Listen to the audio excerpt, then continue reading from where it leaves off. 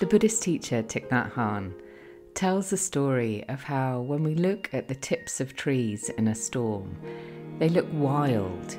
Trees look like they might fall under the weight of the wind and the rain. But when we lower our gaze, when we look at the trunks of the trees at the centre point and then down further toward the roots, we can see that the tree is in fact standing steady. And this idea of being able to stand steady in difficult times is something I'd like to explore today.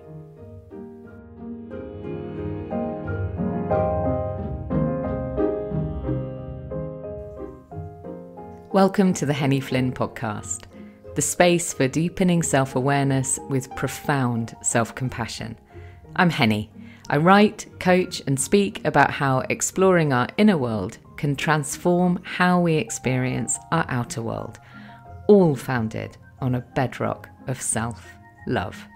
Settle in and listen and see where the episode takes you.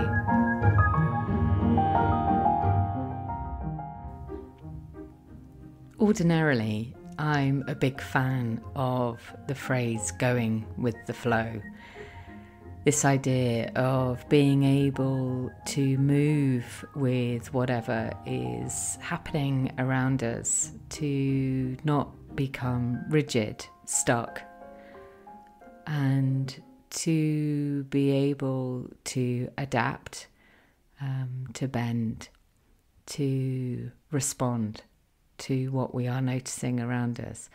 And this word flow is a word that is really resonant for me, as I'm sure it is for you and for so many people. There's a reason why we love, uh, you know, collectively why we love words because they they do something in our psyche. Um, they speak to some part of us. However, today I'd like to share a practice um, or my experience of a practice that led to a very different phrase. Um, a phrase that illustrated something for me that I really hadn't been expecting. We are all of us aware of the disruption that's happening in the world around us, whether, like me, you don't watch or consume news, or you find yourself needing to be in the thick of that storytelling of what is happening, you will be aware it is impossible not to be. And it can feel as though the ground, the very ground beneath our feet, is unstable. I am hearing from many clients, from friends talking about friends, loved ones, a sense of deep fear and concern that all the things that we hold to be true are being questioned. Um, we can see this politically, socially, culturally, and environmentally, of course. And so, for me, it leads me back to practices that enable me to recenter, to reground, to connect with what I absolutely can feel and know to be the deepest wisdom, to be the truest truth. And there is a beautiful practice um, that comes from many traditions, actually, which is to center ourselves and to connect with nature. I mean, in its simplest terms, this is really what it is. And therefore, it's really something that anyone can do. Anyone who has a desire to have a connection with nature or who has a mindfulness practice or a willingness to come into um, their body and to be really present in this moment. Um, it is available to us all, um, even if it's something that you've never ever done. And uh, even if it sounds a little bit bonkers, um, it's still something that is available to us all.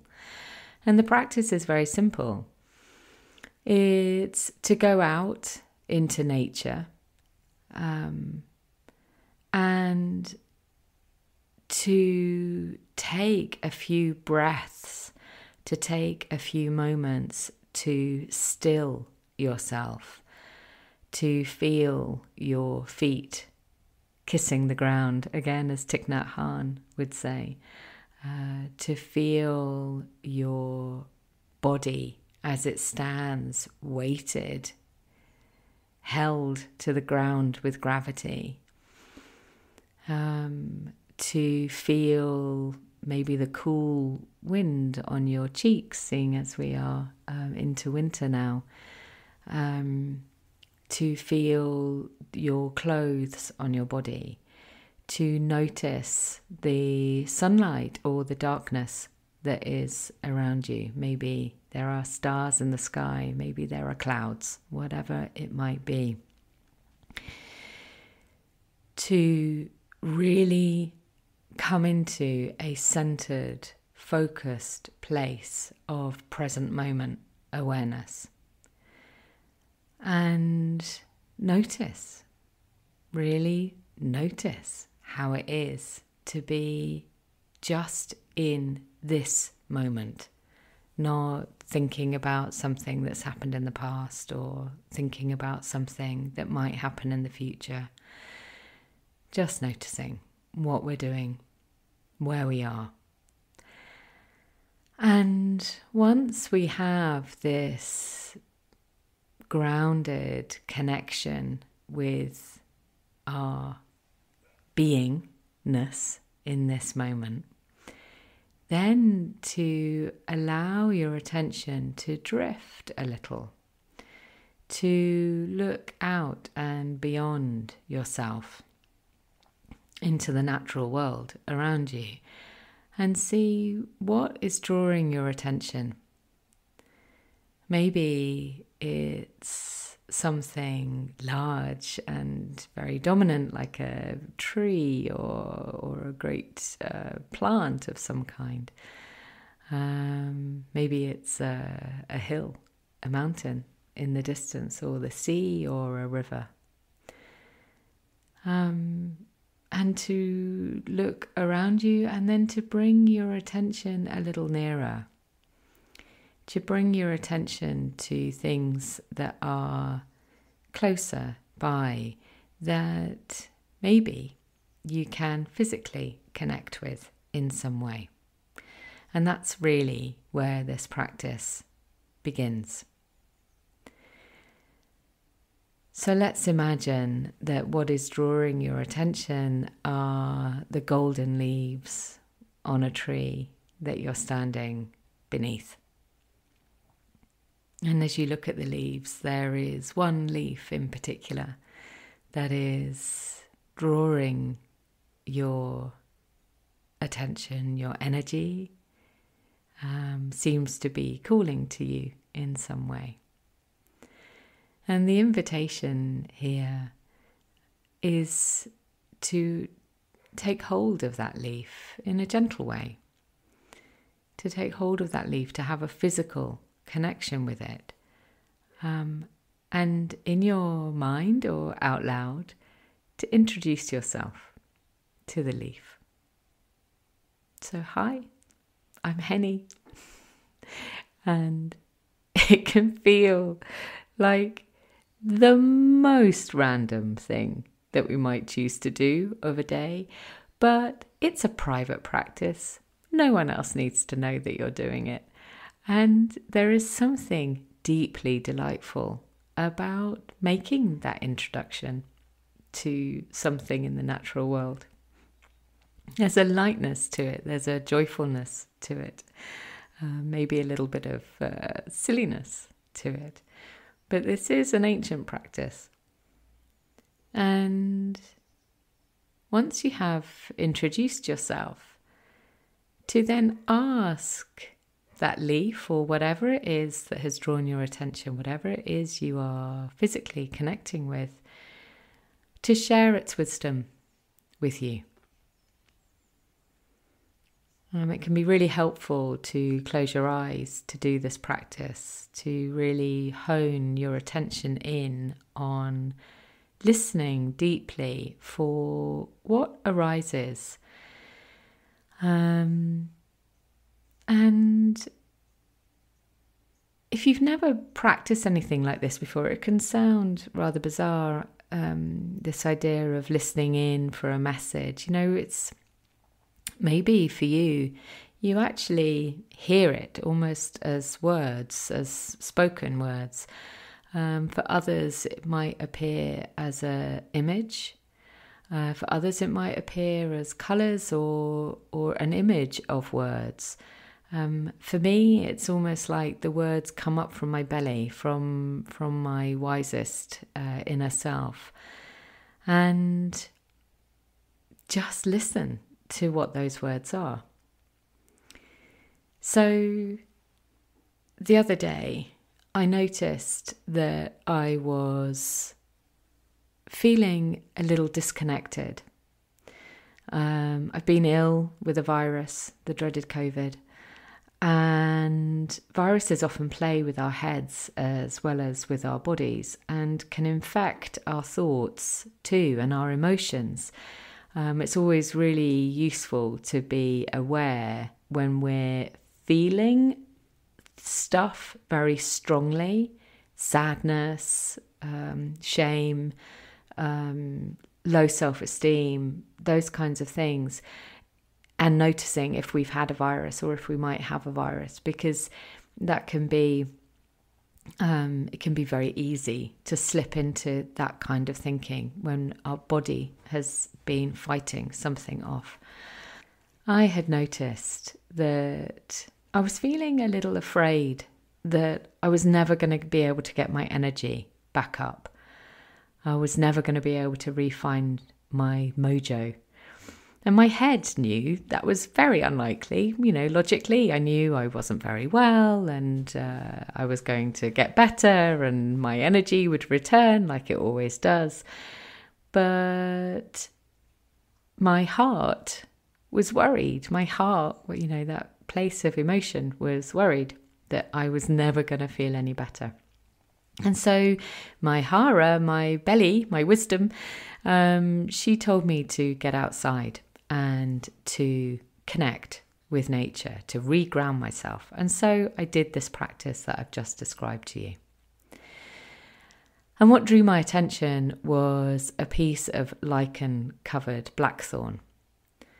And for some reason, this particular branch of the blackthorn bush, the sloe bush, um, really stood out for me from the long hedgerow along the side of one of our fields. And I held this lichen covered blackthorn in my fingers. I introduced myself and I asked her to share her wisdom. Now, the first thing that came up was this phrase, in the sands of time. And I struggled with that, if I'm honest. I part of me wanted to reject it and just say, "Oh, this isn't working," and you know, why are you even standing out here in your dressing gown in the field, holding a piece of blackthorn? Um, but I stayed with it. I had my eyes closed, and and I just kept listening, and um, and still, just these words in the sands of time were there. And then I realised that with my eyes closed and, and the slight unsteadiness of having been unwell, I was gently weaving backwards and forwards, and I was actually holding the blackthorn to help me stand steady. And then I understood the message. stand steady in the sands of time. And that for me felt like the wisdom of trees. And I refer back to that Thich Nhat Hanh um, quote that I shared earlier about how when we look to the tops of trees, they can look like they're waving about wildly. But when we lower our gaze, we can see that they are standing steady. And that was the message from the blackthorn stand steady in the sands of time. I interpreted that as, you know, stay with what I was experiencing, um, trust myself, and trust that things would pass and things would return. Um, so this stuff, this approach, it can take time to hear something coming through. And, you know, like me, you might hear something and go, I've got no idea what that is, but trust it, you know, give it a little bit of time, let it percolate until you understand what that wisdom is that you're hearing. Um, and don't lose heart if the first time nothing comes. If this is something that appeals to you, then um, that's okay. Just just keep listening. And and like I say, sometimes we need to interpret what we hear because it doesn't always make sense first time around. But this phrase, stand steady, felt so resonant for me. And and I think the message is deeper and wider than simply um, a message for me in that moment of not feeling very well and you know, getting a little caught up in some negative spiraling, um, it felt like it was a wider message, a wisdom for our times, in fact, to not get stuck in our heads, but to move our attention to where our wisdom lives, to come down from our head through into our heart and our belly, into our wisest place and to stand steady in the sands of time and to trust. And ultimately to connect with what we know to be most true.